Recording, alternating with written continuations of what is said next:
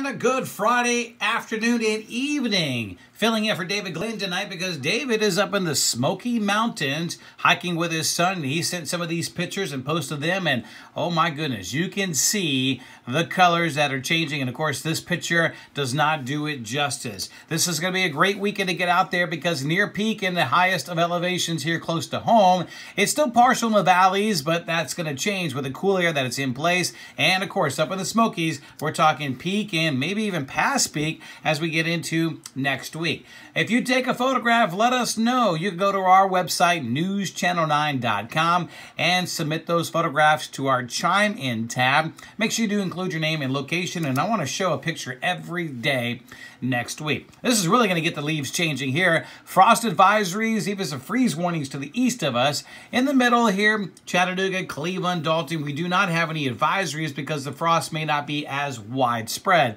But nevertheless, I do expect some patchy frost for many of us tomorrow morning. High pressure building in today. That's what's caused these winds to come out of the north and east. A chilly day where highs were only in the 50s and 60s as expected.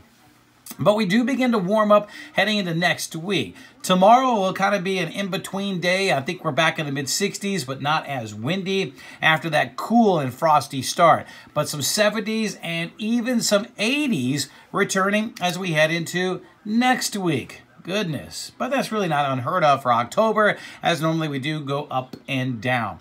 So temperatures going down tonight, 52 degrees here by 9, into the 30s by tomorrow morning. I think everybody will be in the 30s. I know you see some 40s here as some warmer air appears to try to move into the higher elevations, but I've got my doubts there. I think all of us will be in the 30s, and I would not be surprised some typical cool spots are in the low 30s. Wow. All right, here's your future track on Saturday. Sunshine. Most of us will be in the low to mid 60s. And then we get into your Sunday 40s in the morning. So a little bit warmer and around 70 by the afternoon. The latest from the Climate Prediction Center does suggest average temperatures to wrap up pretty much the month of October.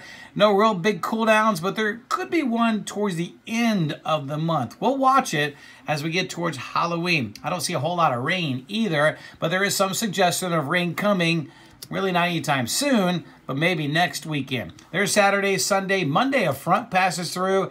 Uh, it's not really going to do anything. We get into Wednesday and Thursday, we warm up. So let's go right into Friday. And there's our next chance of seeing some showers as we head into Friday afternoon. Otherwise, temperatures are really going to start to warm up. We're back in the mid 70s on Monday. We're back in the upper 70s on Tuesday. And like I said, upper 70s and maybe some low 80s heading into Wednesday and Thursday. Seven day forecast looking mighty fine over the weekend mentioning it a little cool tomorrow, but around 70s Sunday, 70s Monday and Tuesday. And look at those 80s on Wednesday and Thursday. Certainly is a possibility. You have yourself a wonderful weekend.